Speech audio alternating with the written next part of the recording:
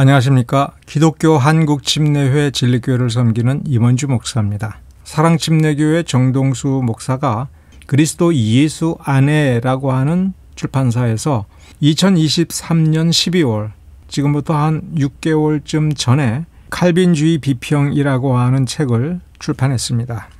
SBC Southern Baptist Convention 즉 미국 남침례 교회가 칼빈주의적 침례 교회냐 이런 질문을 해보면 답변해 보면 1845년 즉 미국 SBC 남침례 교단이 설립될 때에 누가 세웠느냐 할 때 전부 칼빈주의자들이 세운 겁니다. 자 그러면 칼빈주의에 대해서 적대적인 정서를 가지고 그 혐오감을 논리적으로 표현할 때 그것이 침례교 고유의 정서냐라고 할 때에는 역사적으로는 정확한 것이 아니다. 지금 그 어떤 침례 교인이 칼빈을 미워한다. 그것은 얼마든지 그럴 수 있는 것입니다. 그러나 역사적으로 그러한 것이 침례교 고유의 정서냐라고 할 때 원래 영국에서 침례교회를 처음 시작한 사람들, 그리고 특히 미국 침례교회를 시작한 사람들, 그리고 남침례교회와 북침례교회가 갈라져서 남침례교단이 새로 설립이 될 때 그 설립자들 전원이 칼빈주의적인 침례교 교회들이 보내서 만든 교단인 거예요. 그래서 지금 남침례 교회의 교리가 없다라든가 칼빈을 싫어한다라고 하는 정서는 역사적이고 정통적인 뿌리가 없다라고 하는 점을 먼저 염두에 두셔야 됩니다. 그러므로 사랑침례교회 정동수 목사가 자기가 침례교인이다라고 하면서 반칼빈주의적 정서와 혹은 칼빈에 대한 혐오감을 드러낼 때에 그 뿌리와 정통성에 대해서는 좀 의문을 가져야 됩니다. 칼빈주의 비평이라고 하는 이 자료는 정동수 목사가 본인이 처음부터 끝까지 조절한 것이 아니라 영어로 publishing 된 것을 이렇게 한 권의 책으로 묶은 것으로 보입니다. 칼빈주의 1분 정리, 칼빈주의 허점, 예수님보다 예정, 또 구원받아서 믿는 거냐, 뭐 전도할 필요가 없다 이런 식으로 칼빈주의를 비판할 때에 이 자료, 칼빈주의 비평에 포함된 자료들을 활용한 것으로 이해가 될 수가 있지요. 저 개인적으로는 이런 책은 읽으면 안 된다고 생각을 합니다. 그런데 그것은 제가 칼빈주의자여서가 아니라 무지와 편견을 악용하여 왜곡한 것이므로 이러한 문장을 읽다가 보면 그 읽는 독자의 사고 틀, 인식 틀이 왜곡이 됩니다. 즉, 그 어떤 것에 탐닉하고 동조하여 빠져들면 그런 사고방식에 물이 든다라고 하는 겁니다. 무엇이 문제다라고 하는 그 부분에 대한 인식이 객관적 팩트에 일치해야 되는 거예요. 그런데 어떤 것에 대해서 오해할 수 있지 않습니까? 그 오해를 많이 하게 될 때에 우리는 뭘 반성을 해야 되냐면 내가 너무 성급한 것인가? 내가 너무 겉보기만 판단하는 것인가? 이런 정도로 반성하고 넘어가면 되는 겁니다. 그런데 신앙인이 신학에 대해서 그리고 어떤 오해를 하게 될 때에 근본적으로 그 사고 방식의 틀에 문제가 있는데 그걸 방치해 두면 계속 왜곡이 되죠. 심리적인 위축이 논리적 사고력을 위축시킬 수 있습니다. 또 논리적 사고가 삐뚤어지면 위축된 혹은 잘못된 심리 구조가 고정돼 버리고 심화돼 버리고 그래서 문제를 일으킬 수 있습니다. 요한복음 1장에 어떤 내용이 나오느냐? 빛이 비추어지면 어둠 속에 있는 사람이 그 어둠으로 인한 불편 때문에 빛이 비춰진 걸 보고 야 저기 밝으니까 저쪽으로 가면 좋겠다 해서 가야 되는데 진리에 관한 한 빛이 비추어져서 무엇이 진실이고 거짓인지 분명히 드러나는데 사람들은 이 빛으로 다가오지 않는다는 거예요. 왜 그렇습니까? 마음이 삐뚤어지면 생각도 삐뚤어지고 생각도 삐뚤어지면 마음은 더 나빠질 수가 있기 때문에 그런 겁니다. 무지와 편견을 악용한 왜곡은 이성과 논리가 들어가야 될 지성의 부분을 감성으로 대체합니다. 감성으로 생각을 해버려요. 피부로 느끼는 게 진실이 돼버려요. 그 이면을 들여다보고 왜 그런지를 파악을 해야 되는데 그걸 잘 파악을 못하게 되는 수가 있는 겁니다. 이것이 칼빈주의 비평이라고 하는 이 책의 목차입니다. 서문을 포함하면 10개의 글과 6개의 부록으로 되어 있습니다. 어거스틴의 실체, 칼빈의 실체, 그러면서 흑역사 이렇게 되어 있습니다. 이 내용이 너무 방대합니다. 왜 방대하냐? 문장 하나하나가 거의 다 왜곡이 되어 있어요. 그래서 매우 논리적으로 말하는 것 같지만 전혀 비논리적입니다. 그것이 왜 비논리적인가? 그러면 어떻게 이해해야 옳은가를 설명하는 것이 얼마나 방대하고 어마어마하겠습니까? 그래서 시리즈로 하되 서문 부분은 가급적이면 차근차근 자세히 다뤄보고요. 그 뒤에서는 중요한 부분만 발췌해서 왜 문제가 되는지를 여러분에게 설명해 드리겠습니다. 먼저 이해를 하셔야 될 것은 혐오증에 오염된 사고 틀, 즉 프레임은 사고 프레임은 신앙과 인생을 망가뜨린다. 오염된 문장을 가슴에 담지 말고 저항해야 되고 밀어내야 됩니다. 그러기 위해서는 과연 옳은 것인가? 이것이 왜 그렇지? 라고 하는 의문을 가지고 사실을 확인해서 자신의 생각과 논리 구조를 계속 바르게 바로잡아야 됩니다.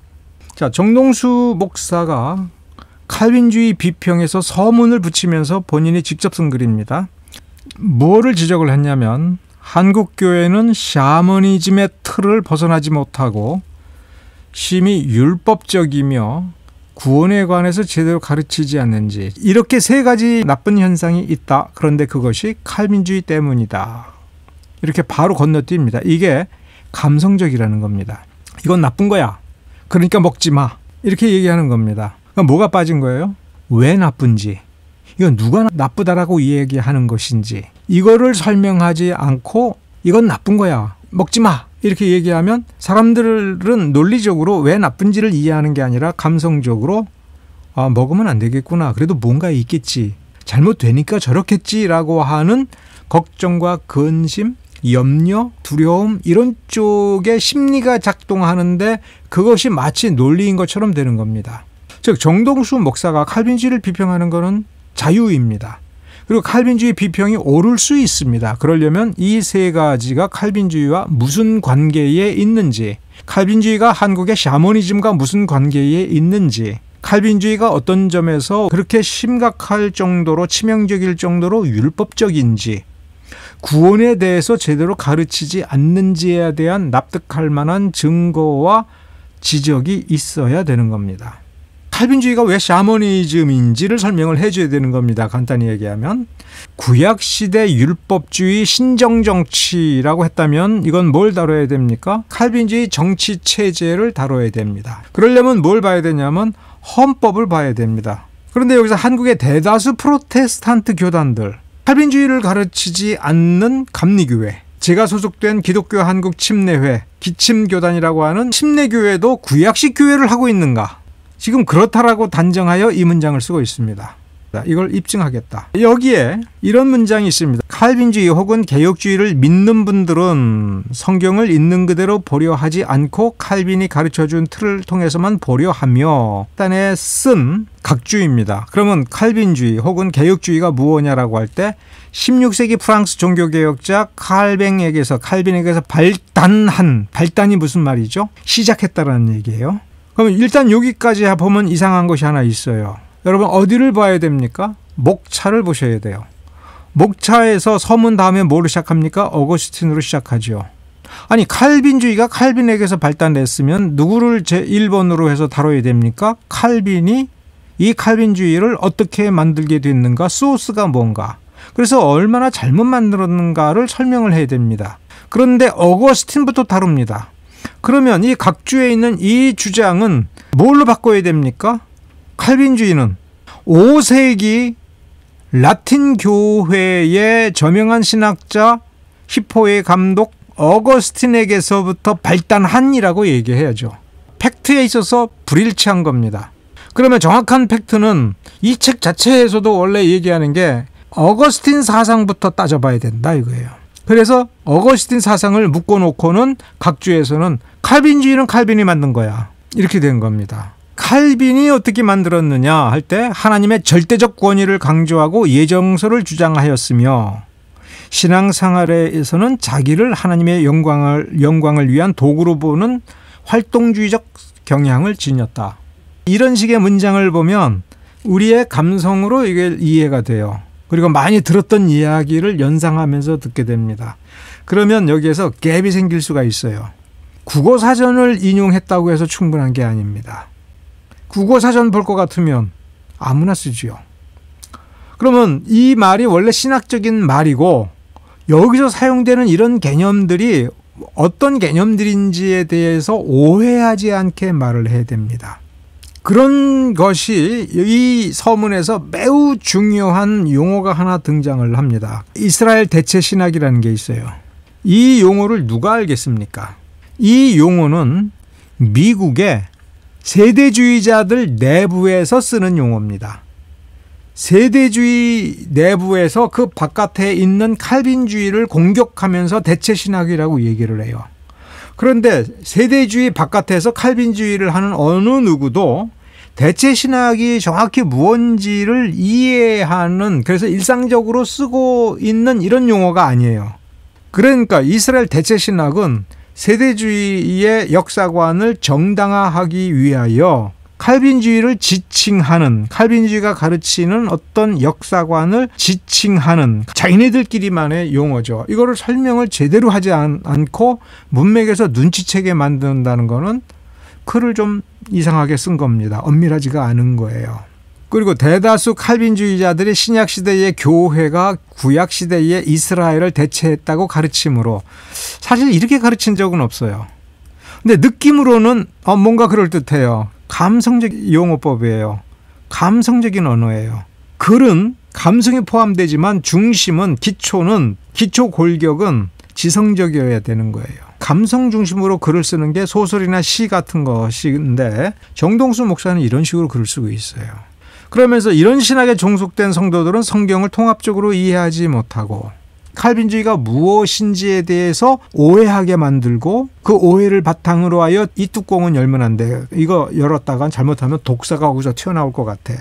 이런 느낌을 가지게 만드는 겁니다. 이런 거는 참 안 좋은 거예요.